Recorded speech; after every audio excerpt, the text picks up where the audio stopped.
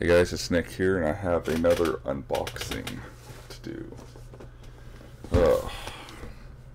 I don't have, I don't know where my box cutter is, so I have to use this thing, guitar pick. Just not expecting to get it this fast. Um, ugh. Jeez. I don't think this is gonna work. If this is gonna work. Um, I can't open it this way, I guess. Gosh, I know. I should have grabbed a knife from the kitchen or something. Alright, there we go. Alright, uh. I guess this will just have to do.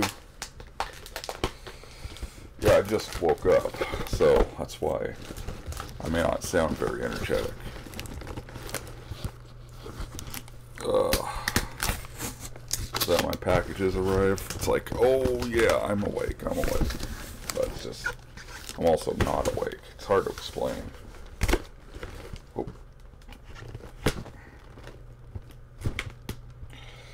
Come on, I just need to get this one part. There we go.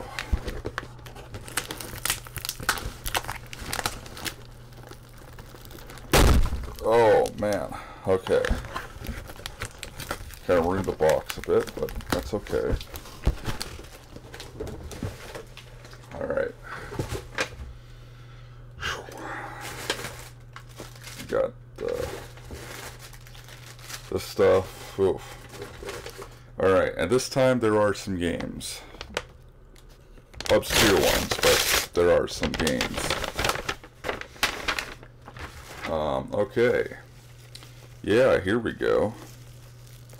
The first couple are games, okay. So, these are a couple Game Boy Color games, actually. Nothing exciting, but these are games that we never got in the U.S., which is surprising. I think they were actually intending to, and I'll, I'll explain it, um, of course. Wow, I cannot open this. There. Okay. So the first one is Backgammon. Oh, that's really exciting, isn't it? It's by Altron. This is a company that it, it, it was kind of weird. Like during the Game Boy Advance era, they made a bunch of like Western licensed games or whatever, and then they'd uh, release them in the U.S. And then they also did it for uh, they did they did some Game Boy games like that, but uh, like they made like Danny Phantom and stuff for like the Game Boy Advance and they made a Dexter's Laboratory game for the Game Boy Color I just learned and that it's actually a reskin of a elevator action game so that's kind of funny actually. I never thought I'd see Dexter's Laboratory and uh, elevator action together but that's pretty funny. So uh Alright, so, but anyways, I, I said earlier, I think they actually meant to release these games in the U.S. because, uh, I don't know about Backgammon, I haven't really played that one, but there's, uh, this other one I'm about to show you, there's actually a mode to play the game in Japanese or English, and it's just, like, it's like, huh, so I wonder if that was the, if that was their plan, you know, to release it in the States. Who knows? Um, now, Altron, I think the first game I bought by them was uh, Paperboy for the Famicom. You know, I thought the I thought the Famicom version of Paperboy wasn't that bad. It's just really bad compared to the arcade game. I remember AVGN saying, "Man, I can never beat this game. Like everyone else seems to have no problem with it." It's like it does take some practice, but once you get used to it, it's yeah, it is a pretty easy game to beat though. Um, I, mean, I guess it's like anything, but it's definitely not like one of the hardest games ever made or anything. So, uh, so anyways, the second one is called Checkmate. So, yeah, this is a, as you could probably tell, it's chess, which is which is interesting because it's not a shogi game, and shogi games are usually the more popular ones. Um, uh, always get paranoid. I don't want to break the box or anything. So, uh, there's the manual, anyway. Pretty cool. Wow, this manual's like a lot thicker. Oh, wow, so this, this is in English. Looks like, they, so yeah, they have it both in Japanese and, uh, I don't, like, it's upside down, I know, but like, they have it in Japanese, and then they have it in English. That's very interesting. Um, so yeah, I wonder if that was the, I mean, I don't, why else would they have it in, in English? That's kind of weird. Um, but that's, that's pretty cool, I guess. Yeah, it's, it's, it is interesting to see a shogi game for the Game Boy in Japan because, or a chess game for the Game Boy in Japan because usually it'd be a shogi game instead, but uh, I cannot get this. Uh, open this? Come on. Come on.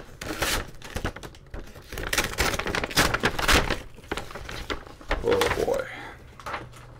Okay. Oh, this looks like another game, is it? Oh yeah, it is. And uh, speaking of shogi, it's funny I, I bring it up because that's what this game is. Um, yeah, I've been playing shogi games recently. I was on a Mahjong craze. Now I'm playing shogi, even though I suck at it. Um, this is uh, Mina no Shogi Shokyuhen, which I think means uh, everyone's shogi beginner's version. Um, I don't remember how to say his I think it's Kunio Yonenaga, probably. But uh, he's like the director of this game, apparently. So, uh, the game, I did play through the game. I cheated, of course, and I used an AI to to beat the computer, but uh, you get like this password when you beat the game, and I don't know what it's for, but it says something about checking the manual, so fine, I'll check the manual. I don't know, it's, it's pretty interesting. Um, there's a little biography about the guy. Uh, that's kind of cool, I guess. I think that's it. I think that's all there is to say about that. There's really nothing else. Alright, well, time to... Alright. Yeah, I probably won't, this will probably be the last one I'm due for a while because I'm actually saving up for my uh, vacation. And uh, so I'm probably not going to be able to afford as many things. But who knows. Uh, maybe I'll work some overtime at work and then I'll, I'll be okay. Who knows. Uh, ah, okay, this one is video game related. So, uh, yeah, this was the only copy of it that I could find, too. Um, now the the seller had it listed as a little damaged dirty, but like I said, it was the only one I could find, so I decided to take a chance. But this is Takeda Shingen, and this is the official soundtrack CD. So uh, we we got it in the U.S. as Shingen the Ruler, and I'm not usually good at games like that, but uh, let's see, how's the CD?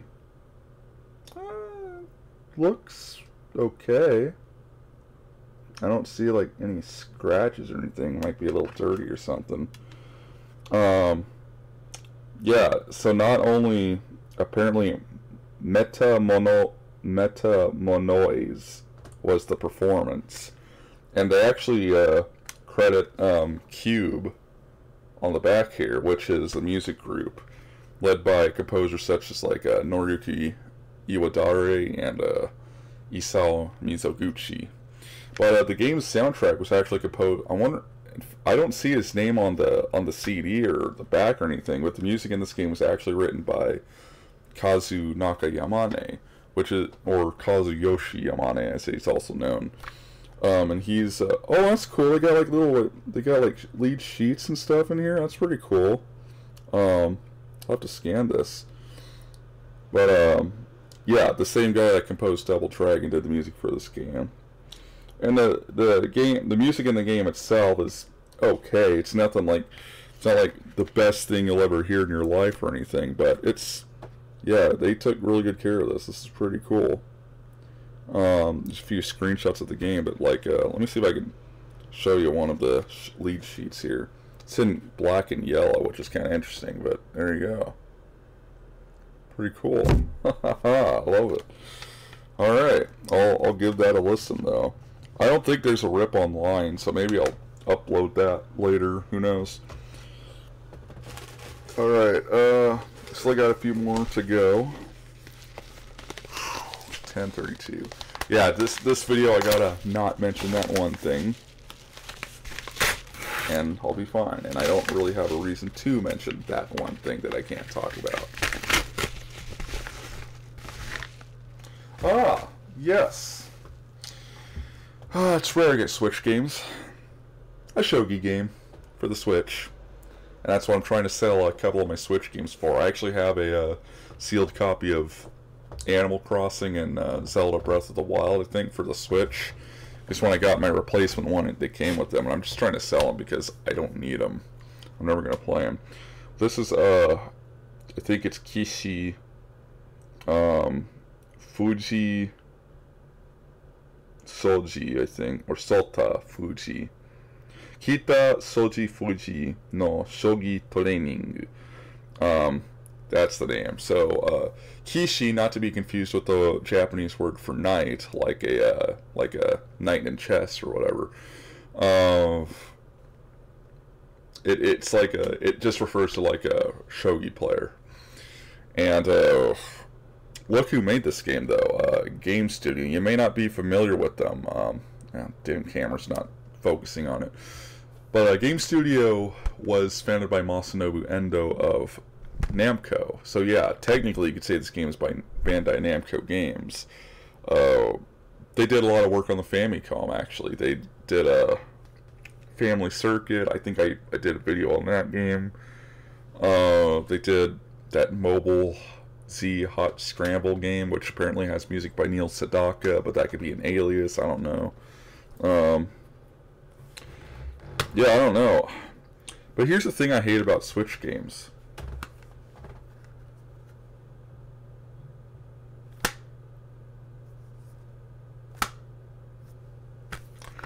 You might be like, well, what's the problem? Well, look what happens. I mean, I have I have it here for reference, but when you get a Game Boy Color game, for instance, you get a manual and stuff, you know. And with the Switch game, all you get is just the game on, a, on, on like a little card, you know. It's it's really sad actually, but I'm hoping I enjoy this one.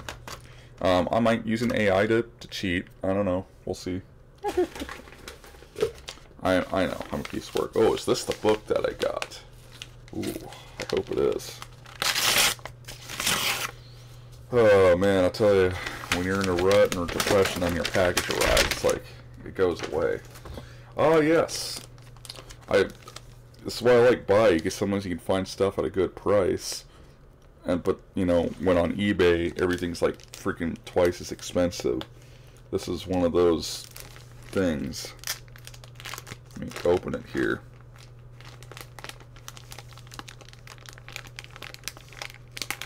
I can get it. Gotta be careful, I don't want to break it or anything. Okay.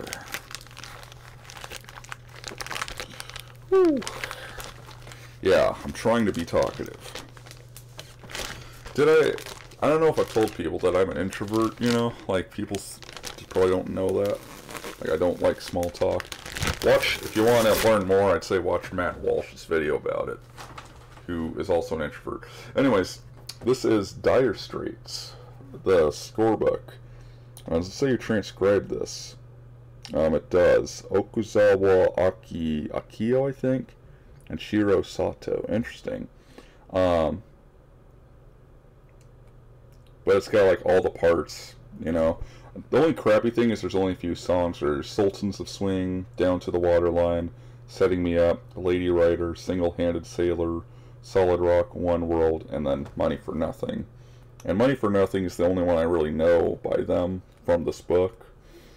But I also like, you know, it's funny, you know, they did Walk of Life, right? And I used to hate that song as a kid. I think probably because I, uh, I think because I just heard it all the time on the radio, but I grew to love, not just like the song, but I love it.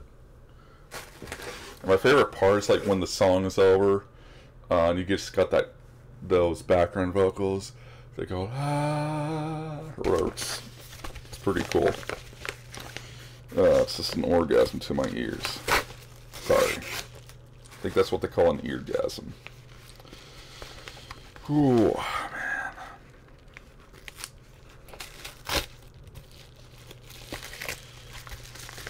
Yeah.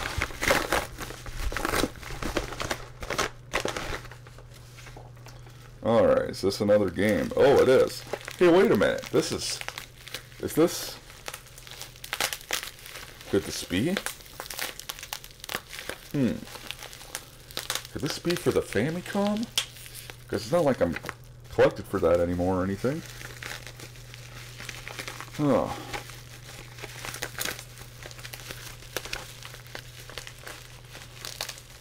I guess we'll find out. Just trying to open this in a way that's not going to damage the game, but... Alright.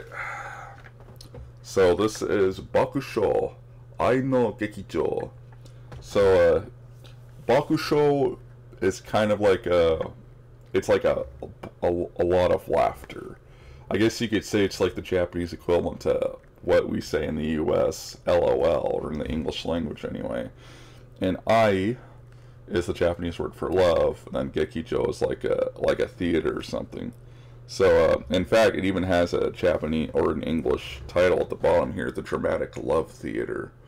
Uh, basically, it's a Game of Life clone because I don't know why, but uh, the Game of Life was such a thing in in the U uh, or in Japan at the time. We never got the Game of Life on the NES, but in Japan they got a bunch of got a bunch of Game of Life games, except uh, they weren't they weren't 100% based on it, but they were just heavily inspired by it. Uh, so Seedream is the publisher and everyone gets this company, Seedream, confused with Color Dreams, but I can assure you it is not the same company at all. Seedream was a licensed developer. It even has the Famicom family logo there, the two Fs. Um, that's the that's actually the Japanese equivalent of the Nintendo seal of quality on the NES games and stuff. So, um,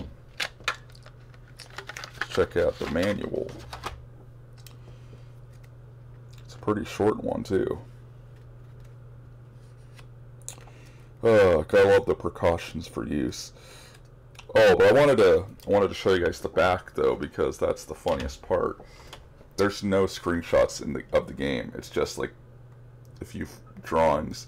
And the drawings are pretty good. It's just they're pretty funny and stuff and well done. It's just I found that funny. Usually when you look on the back of a game box, of course, you see gameplay. Actually, what about the Shogi game? Is that? Oh yeah, see, there's Shogi. By the way, this guy this guy was born in 2020, 2002. It's like hard to believe it's been that much time already. This guy's already in his 20s. I'm almost in my 30s.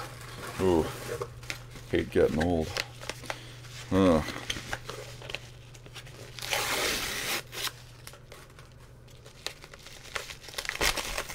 Alright, we're almost done here. Don't worry, it's almost over. I think I got another CD here. At least that's what it looks like. That's the funny thing. I don't remember every single thing that I got. I remember a good amount of it, but ah, yes, yes, this is a great album. Um, and it's one that I already have. Funny enough. Uh, and I know what you're thinking. Well, then why'd you buy it again? And I will explain that. There is a legit reason. The Smithereens 11 so uh, this copy that I got, um, it has a bone, it has two bonus track, no, three bonus tracks on it. Okay, well that's cool. I didn't know that. Um, or, I mean, I did. Uh, the, the other one I bought doesn't, but this one is a different release because the Obi, or the, which is the cardboard thing that goes around the spine, um, that it's different. Um, I'm trying to figure out how I open this. Doesn't look like there's a way. Huh.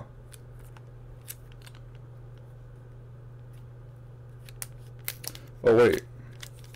There we go. Produced by Ed Stasium. Or I wonder if it's Stadium and they misspelled his name. Alright, um, I usually just uh, fold these up and put them inside the case so I don't lose them. Um, now, was it worth buying this one? Uh, yes, it was. Because this one actually has the Japanese lyrics. The other copy that I have does not have them. Uh, Takeda, speaking of Takeda Shingen, I could read that the translator's last name is uh, Takeda. That's funny. Uh, Alright, here's the last one. Here we go.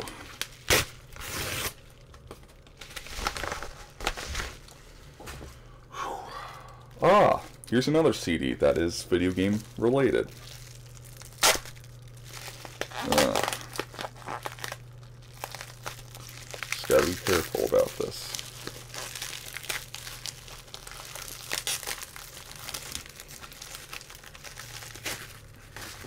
You know, it sucks that this guy passed away, but this is uh, Koichi Sugiyama Melodies of Game Music. It's a it's a double disc. There's like well, 16 plus 21. I'm not quite awake yet, so I can't uh, quite, you know, do the math right now. But uh, it's about like, what, 40 songs or something? Um, but yeah, it sucks that he passed away a while back, but um, to be fair, he was in his 90s, so it wasn't like, you know, his life was cut short or anything. He, he was around for quite a while. Um,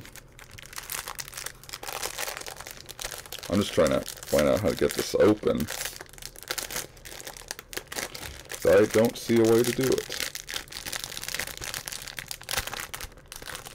That is weird. I don't see a way to open this. I'll worry about it later then. okay, now the worst part about this is always cleaning up the trash because there's so much of it. Oops, sorry.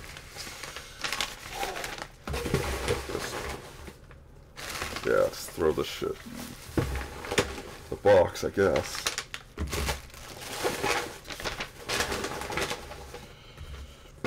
Alright. So I hope you guys enjoyed. Hope everyone's doing well. Um, I actually got to get ready for work because it's almost time for me to go. So, with that said, I will see you guys later. God bless and peace out. Have a great one.